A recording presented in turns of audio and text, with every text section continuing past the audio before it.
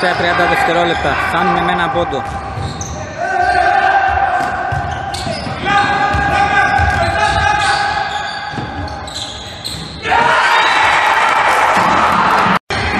Τελευταία 30 δευτερόλεπτα. Φτάνουμε με ένα πόντο.